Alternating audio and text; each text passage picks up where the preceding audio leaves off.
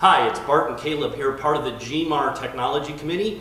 Today we're out at ProCam and we have with us Craig Irvin, who is the pro at ProCam. Kind of puts the pro in ProCam.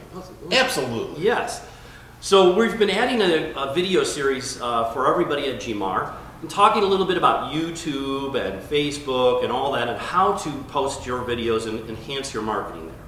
We thought we'd come to the professionals to tell us a little bit about some of the equipment we can use and answer some of those really technical questions. Is my phone good enough or do I have to buy into the high-end equipment um, to really make professional videos? So, Greg, what can you tell us? Okay, um, first we live in a very, very visual society nowadays. I could write text till the cows come home, nobody's gonna read it, show me a picture, I wanna see what it looks like. Um, now with that said, when it comes to video, video's never been easy and also never been more complex than it ever has. Um, quality video can come from something as simple as your phone um, to something more complex like a DSLR camera or a mirrorless camera, and that's kind of what I want to talk about. Um, one of the keys to video more than anything else is a nice steady video with decent audio quality. We're going to talk about audio in a minute too, because audio is part of AV. In fact, it's the first part of AV, audio video. Um, but let's talk about our phones for a second. Everybody's got one of these in their pocket, whether it's an iPhone, an Android phone, I don't care. They all do decent video. But if I go through, first things first, if I go through doing a video holding my phone vertical, that makes for incredibly bad video. Think of the flat screen TV right. in your living room. It's this way, not that way. Yeah. Um, like the second, told me that your eyes are horizontal on your head. Oh, so absolutely. phone- Yeah. You know, your eyes aren't stacked. absolutely, it drives me insane every time I see someone who shot their, vid- their, their video vertical. It's just insanity. So anyways, that alone is a huge start. We'll turn our cameras, our phones that way. Now the other thing, if I walked through a house trying to show off, you know, the features or whatever, and I'm walking through and I'm shaking, that makes for incredibly bad video. That's why we have devices like this. This is called a gimbal stabilizer. Yes, these are available for your phone. Yes, this thing is 99 bucks, not very expensive at all. Um, let me put my phone on here. I'm gonna snap my phone in. Now you're the pro. Maybe uh, you should have one of us do it. I don't deal with these every day, so Oh, let me turn it on. how easy is it to do?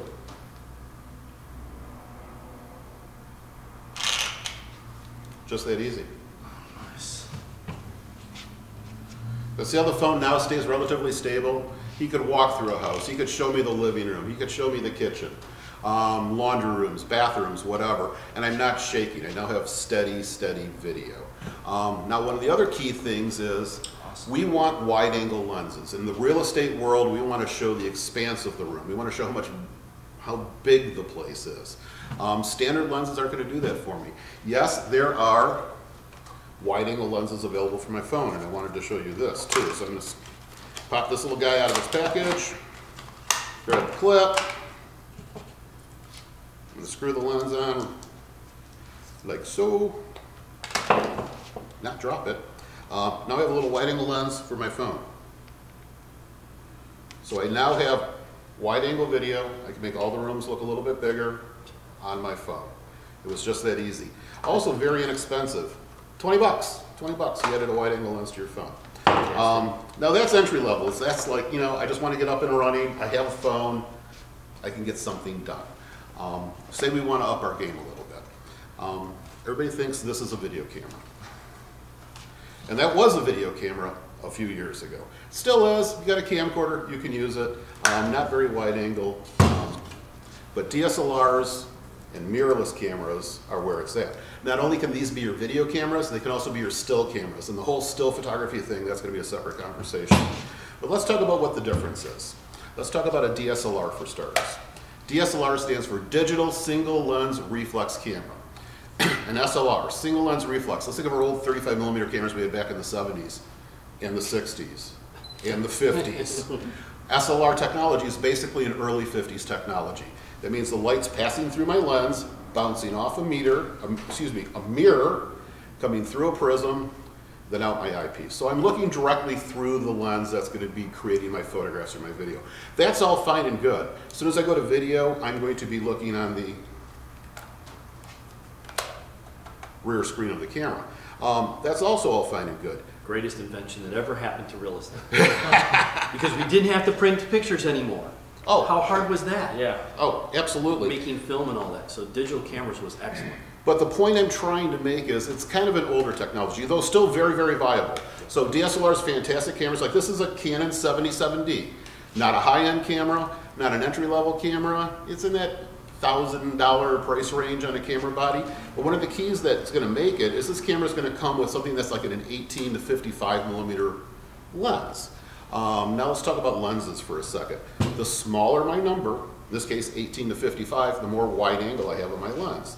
18's wide, probably not wide enough for real estate use. So you're gonna probably want another lens. This is a Canon um, 10 to 18. So this lens is going from 10 to 18. This one's starting at 18 going to 55. So I'm gonna change the lens on it. Changing the lens is just as easy. Press the button, bayonet's off. We're gonna lose the cap. Let's also talk about lens hoods. Most lenses come with a lens hood. Think of your lens hood as the brim of your baseball cap. It's going to keep extraneous light from hitting my lens. So both indoors and out, we want to use our lens hoods at all time. It'll help increase contrast, a little better color rendition, and especially if I'm outside doing like exteriors of a property, sunny day, we Yep. definitely want our lens cap on. That's going to keep our contrast good. Um, now with all of that, most of our cameras are going to have a dial on it. Green mode is I'm an idiot, don't know anything about photography mode. Um, it's not a bad place to start. It really is because it's going to be automatic everything. So what I'm going to do is spin my little dial around, set my camera to movie mode, and I'm good to go. Um, now I can take a camera like this, put it on a gimbal. We were just playing with this other gimbal, but here, here's a bigger gimbal for our DSLRs. Now, how much does a gimbal like this run? Uh, it depends on how big a one you get and how heavy a camera you're gonna put on Okay. it. Starting at around four hundred dollars, going up to like the eight hundred dollar range, Okay. um, which may sound like a lot of money, but just two years ago, something that does what this does was in that fifteen hundred dollar range. Wow. But look what happens as I move my camera. See how my camera stays perfectly level. Yeah. Nice. And then even if I wanted to say point up or down, oh, I so got you a- have a control here. yeah, I have a little joystick on the back. So say I'm tilting my camera up to look at maybe a feature on the ceiling, and then coming back, panning around the room to see what's going on. But see how steady my camera is staying? It's perfect. Um, that's the key to the whole thing, is we want really, really, really steady video. Um, no one wants to watch shaky video. And also, people want good audio with their video. So whatever you're kind of recording on the camera audio-wise, when you're actually maybe doing a walkthrough of a property, probably not the audio you're gonna use. You're gonna probably add your audio after the fact. Now let's talk about mirrorless cameras. Um, Sony and a lot of other manufacturers, Panasonic, Fuji, etc., um, took a hard look at the DSLR camera, and it turns out we didn't really need the mirror and the prism and all that stuff to give me a viewfinder. Um, we could add what's called an EVF or an electronic viewfinder, which is basically a little monitor up here. So now, let's get this bad boy on. Okay, he's woken up. Whatever I see here, as soon as I put my eye to the viewfinder, is what I'm gonna see there. Um, believe it or not, this camera and this camera, even though this one's smaller, doing the exact same job. I have all the same kind of controls. I can be manual, I can be fully automatic. So I'm gonna set this guy over in fully automatic. Um, phenomenal, phenomenal um, video quality coming out of these. This is actually a Sony A6500. A good friend of mine is actually filming a documentary right now that's going to be airing on Netflix in the future. The entire movie, entire movie, filmed on Sony A6500s. But same thing with the lenses. This lens, if I buy it as a kit, it comes with a lens. It's going to come with a um, what is it, a 16 to 50 millimeter lens, which is fine if I want to do little details and that sort of thing. But I probably want to go to a wide angle. So here's another 10 to 18, just like we had on our Canon, but for Sony. Anyway, so now I have my wide angle lens. I can go out to 10 millimeters. I can have that wide angle effect, that sort of thing. Um, either of these will fly on a gimbal like this, but also I'm going to talk about one more really, really, really important accessory, and that is a tripod. Once again, no one wants to look at shaky video. So now if I don't want to do a walking shot, I don't want to do where I'm panning using a gimbal, I can now use a tripod. And there's differences in tripods between still photography and video. Video tripods use what's called a fluid head. Now a fluid head allows me to pan very smoothly. Very nice. So say Say I'm showing off a kitchen and I maybe start right here, where's that wonderful stainless steel refrigerator? And I slowly pan across the room to show you what's going on there, showing off the countertops. Or if I want to go up or down, very, very smooth movements. So you're going to want a really, really good video tripod. So let's talk about this for a second. I want to use my phone. I already own it, don't want to make a huge investment, just want to get up and rolling, get a little bit of video done. Yes, I can add a gimbal stabilizer to my phone, 99 bucks, no big deal. I could add a complete set of lenses to my phone if I want everything. I want polarizers and wide angles and all kinds of other stuff. Polarizers are great. Think of it as sunglasses for your camera. Wow. Outside, sunny day, you know, you want the blue sky, white puffy clouds. That's the line of a polarizer. But for 60 bucks, I can get a set of all the lenses. Or if I just want to go cheap, for 19 bucks, I can just get the wide angle and I'm up and running. Um, this little guy is a mount. I can put that mount on my tripod and now mount my phone to a tripod and do the same thing here where I have the smooth pans and that sort of thing. So this is our entry level. Let's, we can use our phones, don't be afraid of it. Um, you can download video off your phone, you can edit that video just like you would with any of these others. We're in video land. a camcorder, not a bad deal. I got a camcorder here, camcorder here. You might have one laying around your house right now, don't know. But camcorder is worthwhile for just doing video. Um, wide angle lens selection gets a little weird with them because there's not a whole lot of wide angles. We can definitely achieve wide angle easier when we come to these types of cameras. These are all digital. Everything's digital. correct? Yeah. Yeah, everything's Yeah, digital. Not the old Uh, tape ones. No, there is no tape involved. There is no film involved. Um, but say we go to a DSLR camera. Still a very viable camera, wonderful. Canon 77D, one of the best bangs for your buck in a DSLR camera for doing this sort of thing. Great video capabilities. Um, it'll do 1080p HD video all day long. But one thing you gotta keep in remember, with any DSLR camera, they are limited to 29 minute clips. You cannot go over 29 minutes on this camera, at which point you gotta start and restop, excuse me, stop and restart have your next clip going. So we're gonna do this up to 29 minutes. Same thing's gonna happen with our mirrorless camera, up to 29 minutes. And I think it has something to do with some funky European tax law where they come in under as still cameras and not as video cameras and something like Really? that. Wow. But I don't know the whole deals, but it has something to do with Europe. So anyways, um, the mirrorless is gonna offer me a smaller, more compact package. It's definitely where the technology is going. The whole industry is going towards mirrorless cameras. Like I said, either one is completely viable. We come into something like the Sony a6500, it will shoot 4K video, and I want to talk about that for a second. Everybody's like, well, I need 4K video. I absolutely need 4K video. I need the best image quality I have. Well, if you're putting these online, if they're going on YouTube or some real estate site, none of it is 4K. None of it. Most of it's 720p. If you're lucky, you get a 1080p out of it, which is standard HD. So there's really no reason to pay the extra money to have the So- 4K so video. 1080 is enough. 1080 is plenty, Okay. plenty. Like if you're going up to YouTube, YouTube, even if you upload a 4K video to YouTube, the first thing YouTube does is downsize it to 1080p. Oh, that's good to. And then they downsize another version up to 720p. Okay. Um, let's also talk about formats for a second. People get confused about that. The flat screen TV in my living room is 16.9. That's the format. So you probably want to do your real estate videos in 16.9. That's the format everybody's used to. The old TV format, you think of your old tube TV you used to have in your living room, that was a 4.3 format. All of these cameras will shoot 16.9 or 4.3, and when you're going through your menus and setting it up, it's going to give you a question, what format do you want to shoot, 16.9 or 4.3? Choose 16.9. 16.9. Yeah, it's 2019. Choose 16 um, 1994 called them. They want their format back. Um, other than that, I cannot stress the gimbals enough, more than anything, but I want to talk about post-production. We've gone out. We've photographed a house, a commercial building, whatever. We got all this great footage. We're all excited. We go racing back to our offices. Now we got to edit it.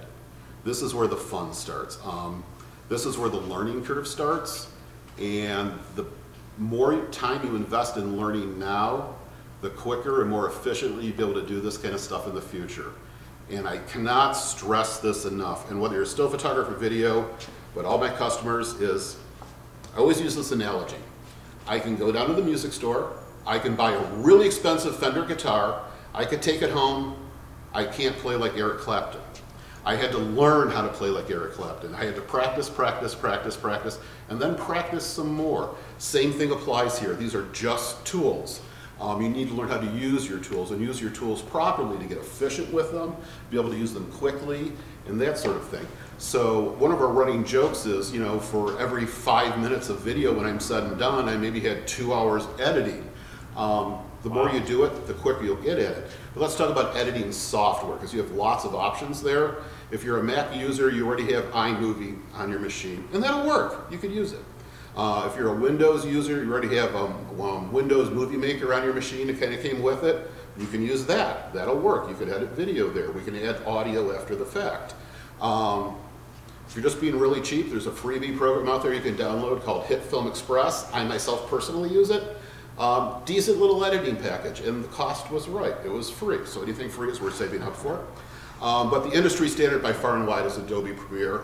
You get that with Adobe Creative Cloud, and then it'll come with like Lightroom and Photoshop, and other applications you're going to want to use if you're doing anything with still and video photography whatsoever. So we get back to our offices, we edit everything, we have this great looking video, but we have no audio yet. Um, and we're out filming this house, and who knows, maybe there's people talking in the background, whatever. When we're out filming, we really don't care, but we probably want to add a second audio track over that. Now, there's lots of places online where you can go buy um, royalty-free music, so you can have music in the background. You just can't lift your favorite hit song off the radio and use it. That's actually a copyright infringement. So get some royalty-free music that you can use as your background, just so it's kind of happy and fun. But more importantly, a decent microphone I can add to my computer so I can now do audio after the fact. I can add a description of the property. Welcome to 123 Main Street. This royal Tudor home featuring 1,500 square feet, whatever. But you can now add a description to what the video is talking about. We can talk about features of the home, uh, the living room, the property, whatever. But now I can add decent audio over the top, and whether you think you have the voice for radio or not, or maybe you know somebody who does, a decent microphone is everything.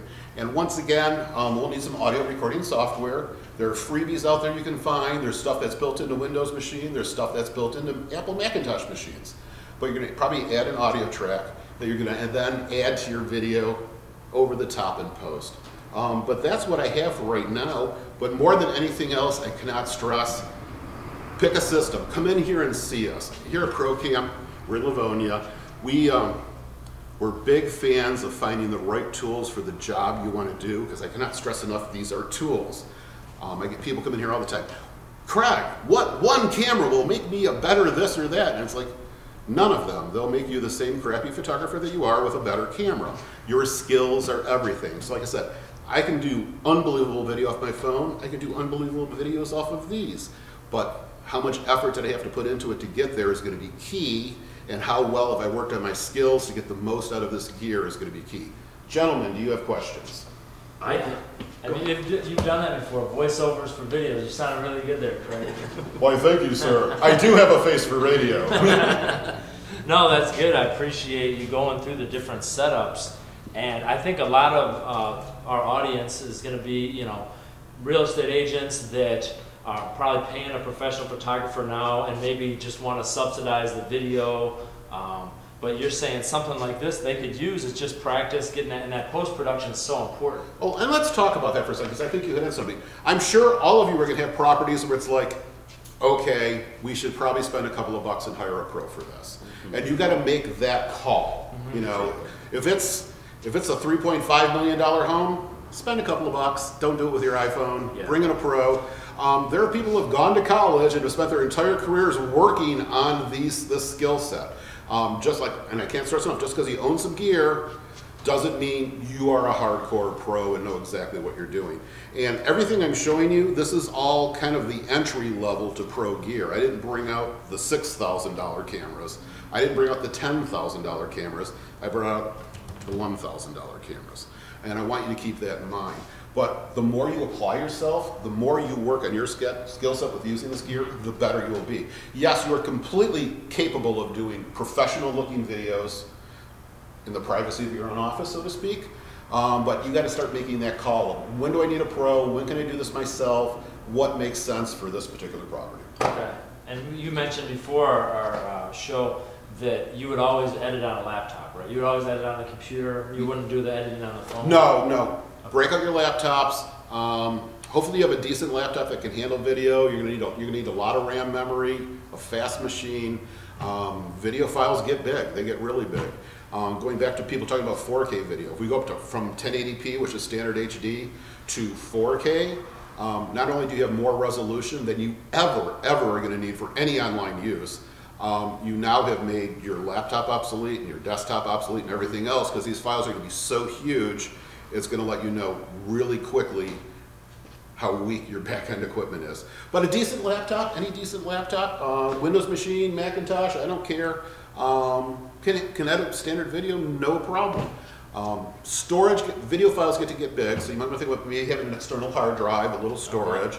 Um, cleanliness is next to godliness as far as keeping our files organized. So I might set up one folder that's like one, two, three Main Street, and then in that folder I have another folder that's like raw clips, and maybe these are the clips that are out of the camera, Right. and then I might have another folder that's like my editing project. Oh, I might yeah, have, yeah, Yeah. that's gonna have all my little, all my little bits. we have to stay organized, Yeah, right? it's gonna have all my little bits, maybe my audio clips, that sort of thing, and then I'm gonna have another folder that's gonna be like my final project after I after I get it all done. That's good. And inevitably, it happens to me all the time. Every time I'm editing a video, I'll get it done. I think I'm good to go. I'll watch it through once. That's fine. And then what you're gonna do is out of your program, it's called rendering. You're actually gonna render the final cut of that video. Then you'll do your first render of it. You'll watch it one more time and go, oh, I didn't fix that. And then you're back to doing it one more time. Yeah. And you're gonna fix that and probably render it again. But it seems like everybody renders their video twice. There's the first time you think you got it done, and the second time when you really fix that last thing you missed. Right, nice. But I cannot stress audio enough. And like I said, if you don't have the voice to do the voiceover, find someone who does. There's somebody that has an outgoing personality, you can give them a script that says, this fine Tudor home, or whatever, but talks about the features of the house. Well, that's awesome. But now with that said, none of this is dangerous. You can't hurt yourself. Uh, unless you drop the equipment, you really can't break it. Um, any camera, regardless of this, its worst enemies, water, sand, and dropping. So if you don't get it wet, you don't drop it on the beach, and you don't drop it and have it hit cement, you really can't mess up your gear. And all of them, no matter how wacky you get with your settings, you think, oh, I'm insanity, it can all be set back to factory specs really, really easy. Now, with that said, I don't want people running off and willy-nillying buy gear. Um, don't willy-nilly hit Amazon and just buying stuff online that you don't know what it does. Come talk to a pro. Let's figure out how to put a system together that's going to do what you want to do, that's within your wheelhouse, your skill set to be able to use it. And you too can be making awesome video relatively easy. Now there's going to be a learning curve. I'm not going to say it's like super easy, hit play and away we go, but the learning curve can be as small or as large as you want it to be. It depends on how big of a production you want to run. It sounds good. Well, Craig, we want to thank you so much for your time today. Thanks. Obviously, he's given us some great insight to the professional side of what video could be, and that's going to make us greater agents here at GMAR. Thanks so much. We'll catch you next time. Wait, Thanks guys, bring it in. I end every one of my videos with one thing. Yeah. How cool is that? All right. All right. Have a great day. Take care.